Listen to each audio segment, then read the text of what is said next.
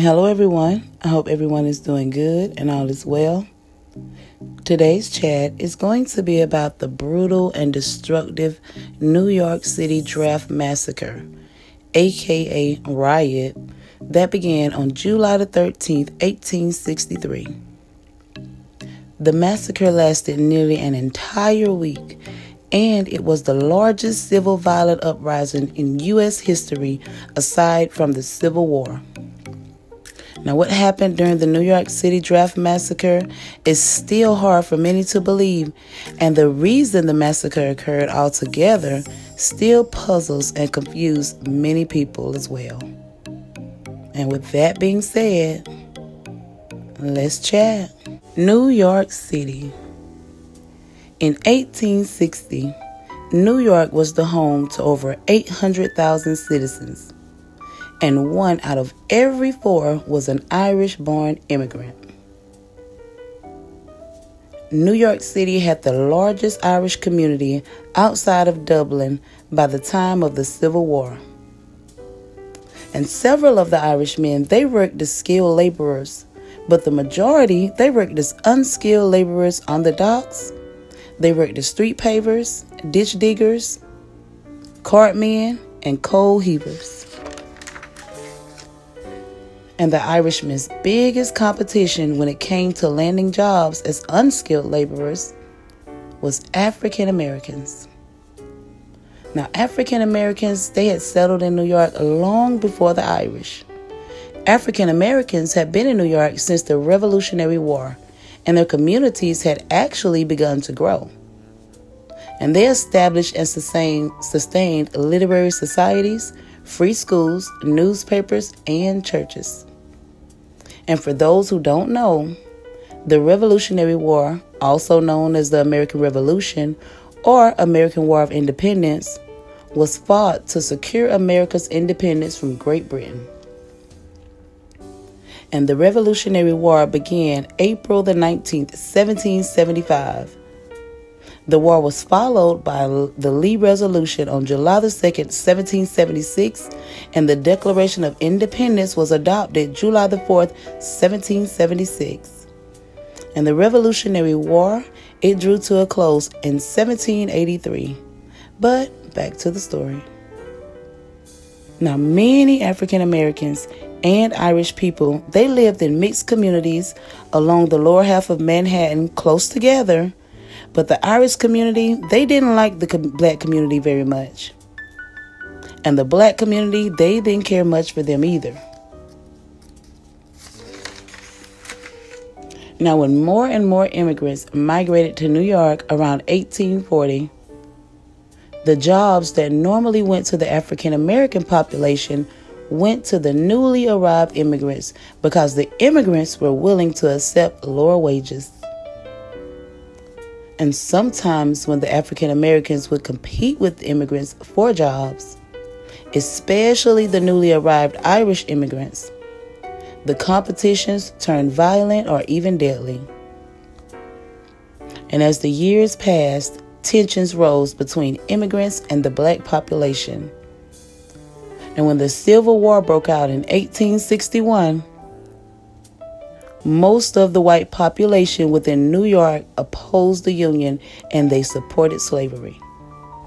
However, surprisingly, when Mayor Fernando Wood called for the city to break away from the Union and join the Confederacy, most New Yorkers did not really agree. Now remember, the Union the Union was against slavery and the Confederacy, they supported slavery and did not want it to end. So the fact the New Yorkers who were against the Union and supported slavery turned down the opportunity to actually join the Confederacy, it was quite shocking and surprising to many. Now, many would think the tensions of war would bring the citizens and neighbors of the town closer together. But no, it only caused a greater divide and greater competition between the blacks and Irish population. Jobs became scarce and unemployment rates rose more and more. And to make matters worse, the cost of living went up faster than the wages in 1862. And to make matters more tense, President Abraham Lincoln announced the Emancipation Proclamation in September of 1862 and confirmed the immigrant workers' worst fears. On September the 22nd, 1862, President Lincoln issued the preliminary Emancipation Proclamation, which declared that as of January the 1st, 1863, all enslaved people in states currently engaged in rebellion against the Union shall be then and henceforward free forever. Now, what many do not know is that when Lincoln signed the formal Emancipation Proclamation in January of 1863, he did not free all 4 million slaves within the United States. He only freed the slaves within the Confederacy and he did not free the slaves in the bordering states that remained loyal to the Union.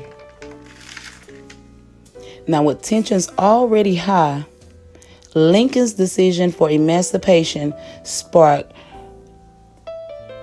protests and riots amongst the workers all throughout the city. Now, soldiers and officers, they also joined in on the protests, claiming that they participated because they signed up to preserve the Union, not to end slavery. Things had gotten so bad when the Erie Railroad Company hired black people to move bales of cotton during a strike. The striking crowd beat the black people until they left. Black and white workers were hired by the Hudson River Railroad, but only black, black workers were targeted for violence. One person stated, The defeated workers seethed with resentment against the replacement whose dark skin made them stand out conspicuously and rendered them easy targets for revenge. By the time of the Civil War and the Civil War draft in 1863, Many Irish people had a dislike and distrust for black people, and soon that dislike turned into hate. And that hate led to the very reason we're all here today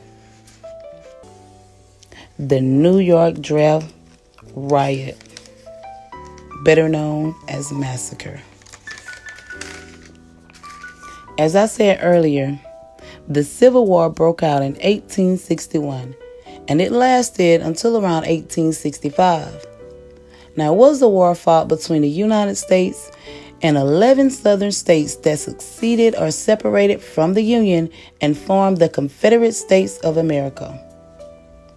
And the Union represented 23 free states that remained loyal to the U.S. Constitution and continued to be a part of the United States of America. And the Union represented a unitary country free of slavery. Now, the Confederacy, on the other hand, they supported slavery and did not want the government to have much power. So the 11 slave states, they separated from the United States of America when Lincoln was elected president. And the 11 states were called the Confederate States of America. And the Confederacy had its own government with President Jefferson Davis as its head man.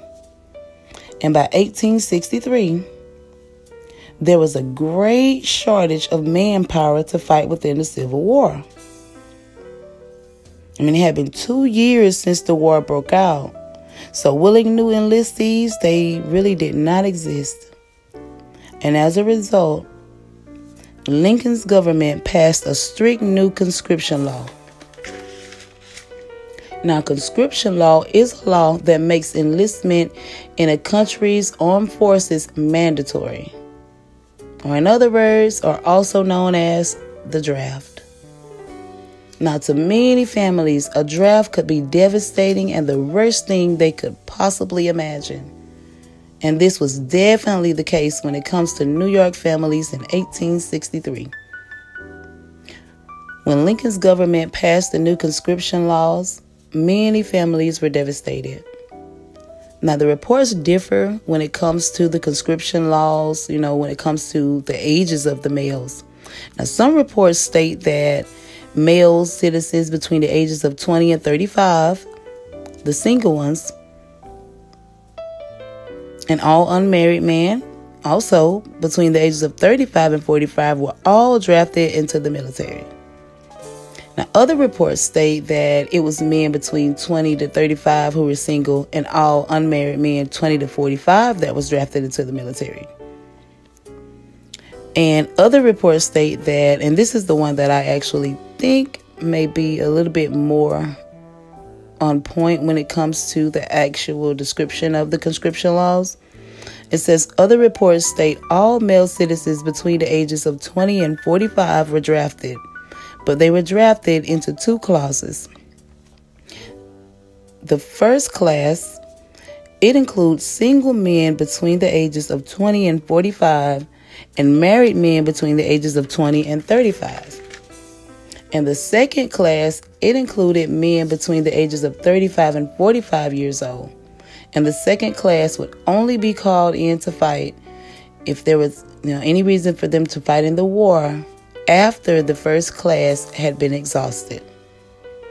Now, the reports differ when it comes to the men's ages, but they are all the same throughout when it comes to the fact that the men were drafted. However, there was one way out of the draft, and it's pretty much the same way out of many circumstances in today's time and something that many use to this very day money. One could buy themselves out of the draft if the price was right. An eligible man could enter a lottery and buy their way out of harm's way by hiring a substitute. Now, a substitute could be hired by paying the government $300. And today's time, this equates to about $5,800. Now, to many, $300 may not seem like much today for one's safety, but for New Yorkers in 1863, $300 was about a year's salary which made avoiding the draft impossible unless you were a wealthy man. Now, if you were a black man, however, you were not considered a citizen and you were exempt from the draft. And of course, the white men were furious at the fact the black men were not drafted in the war as they were. Now, the white men, they were filled with anger and fear over the draft so they lashed out with riots. And the riots, they didn't only occur in New York. The riots, they also occurred in Detroit and Boston as well. There were riots everywhere over the draft. And to make matters worse, the newspapers, they printed articles that only added fuel to the fire. On Saturday, July the 11th, 1863, the first draft lottery of the conscription law was held. In New York City, it remained calm and quiet for an entire 24 hours after the draft lottery. It was not until Monday, July the 13th, 1863, the horror and mayhem began. Early Monday morning, around 6 or 7 a.m., white workers, mainly Irish and Irish American citizens, they began their attacks on government and military buildings. And they did this to symbolize that they felt the draft was unfair. The angry white mob, now they initially only attacked those who interfered with their destruction, such as policemen and soldiers. But by that afternoon, they turned their focus on black people and anything that symbolized black politics, economics, and black social power. The mob was armed with guns, clubs, and bats. And when they came up on the corner of Broadway and Chambers Street, they brutally attacked a black fruit vendor and a nine year old boy. And when the mob arrived between 43rd and 44th Street, they came upon a black orphanage that housed over 200 black children by the name of the Colored Orphan Asylum. Now, the mob viewed the orphanage as a symbol of white charity towards blacks. And the orphanage, it was fully stocked and financially stable with 233 innocent little lives inside, attending school, playing, or recovering from an illness. And when the mob came upon the children and the orphanage, they took as much of the children's bedding, clothing, food, and other transportable items as they could, and they set fire to the building. And firefighters, they did all they could, but they were unable to save the building. And the destruction of the building it only took about 20 minutes. Now, thankfully, the mob spared the lives of the children.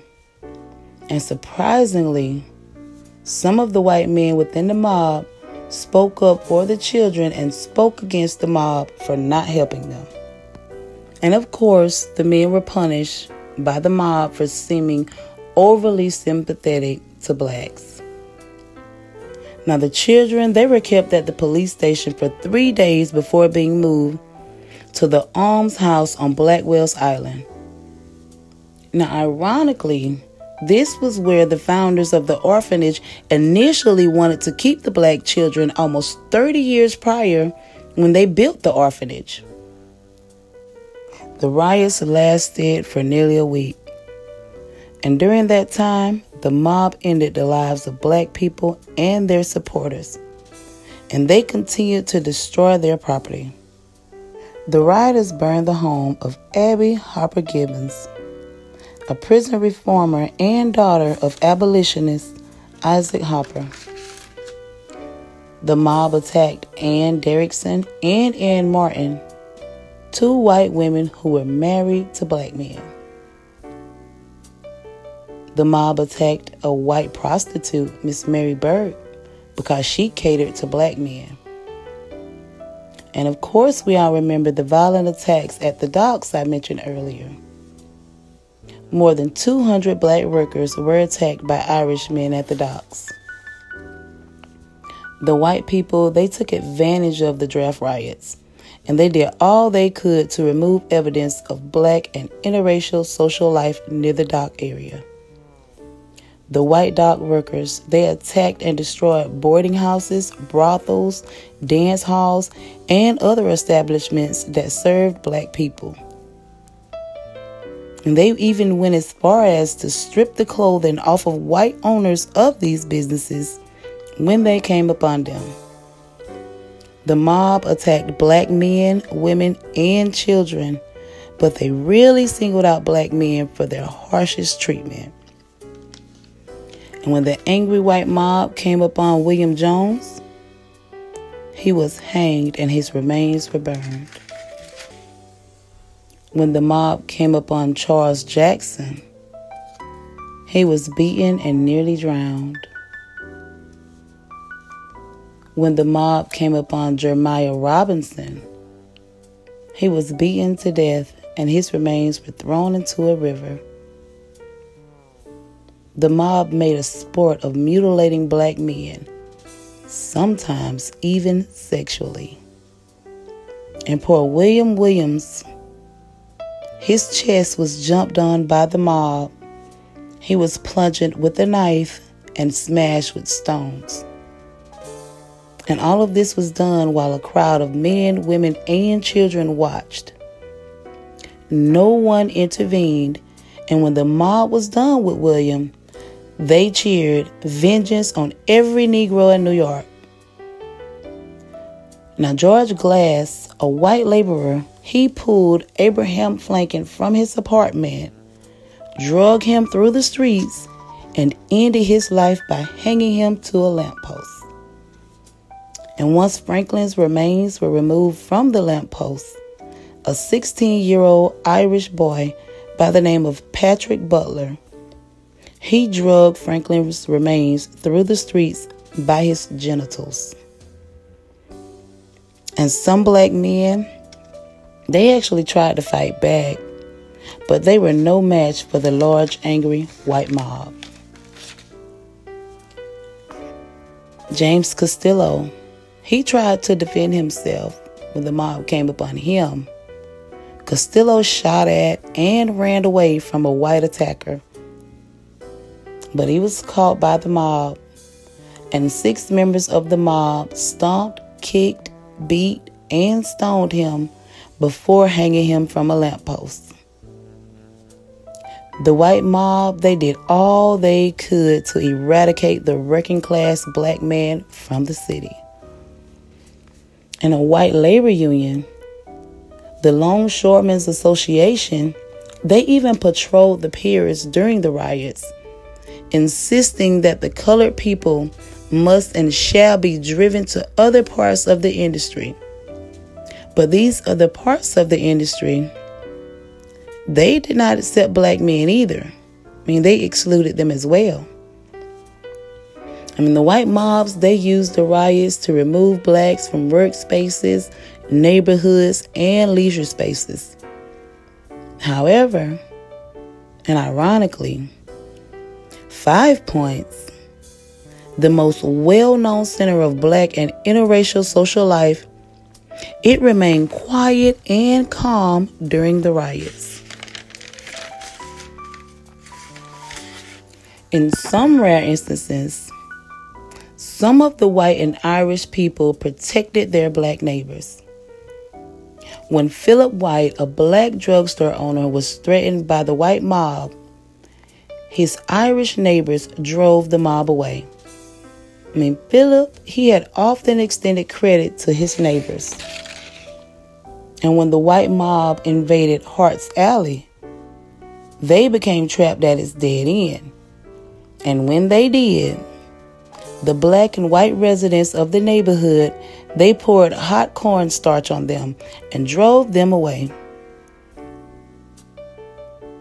Now, many felt that New York City leaders did not respond to the massacre or riots in the proper manner in which they should have. Now, the Democratic governor, Horatio Seymour, he openly opposed the draft law and appeared sympathetic to the riots, but he didn't really do much. And the Republican mayor, George Opdyke, he contacted the War Department and asked them to send in federal troops. But he did not declare, declare martial law in response to the massacres as many felt he should have. And around July the 15th, and a few days after that, more than 4,000 federal troops who had been away in the Battle of Gettysburg, they arrived in New York to restore order. Now the troops initially they battled with the rioters in the, the Murray neighborhoods before finally being able to restore order. And by midnight on July the 16th, 1863, the New York City Draft Massacre aka riot, had finally come to an end.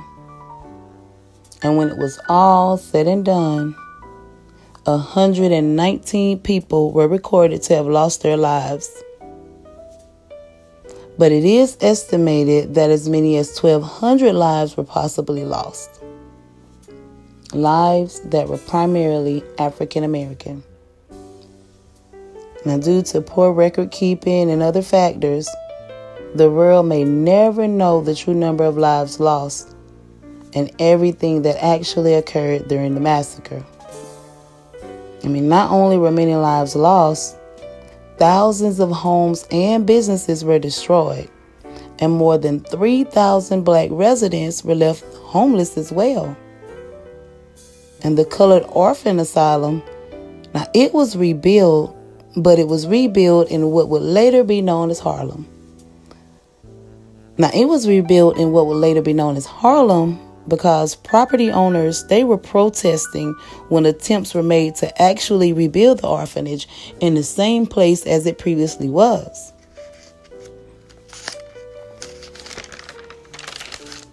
Now the black people after the massacre, they worked hard to rebuild and recover.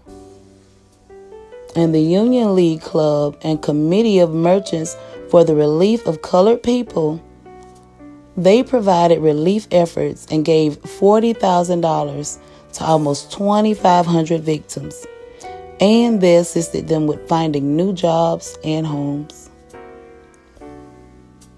And a little under a year later, Republican elites and New York City blacks, they publicly celebrated their renewed alliance. And in December of 1863, the Union League Club was granted permission by the Secretary of War to raise black regiment, or in other words, black soldiers. Now, the Union League Club, they marched over 1,000 black soldiers through the streets of New York to board their ships on the Hudson River. And the black men, they were dressed nicely in their blue uniforms and their white gloves. And they were escorted by the police superintendent, 100 policemen, the Union League itself, their friends, and a band. And this powerful march, it displayed the union of black people with the leaders of the new order being ushered in by the Civil War.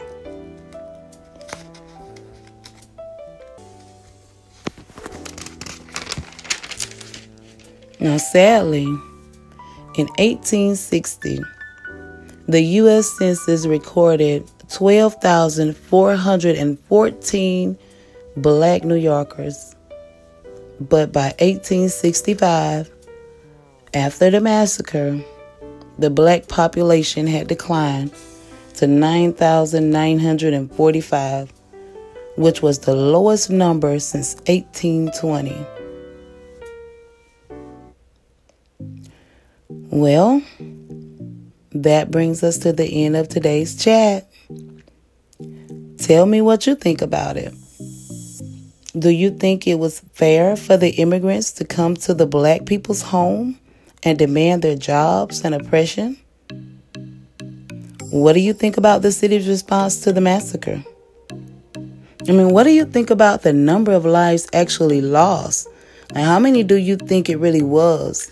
But before you answer, remember the census numbers I just mentioned. Well, drop your thoughts in the comments below. Please like the video please share the video. Please subscribe if you haven't already. And until next time, peace, love, and blessings.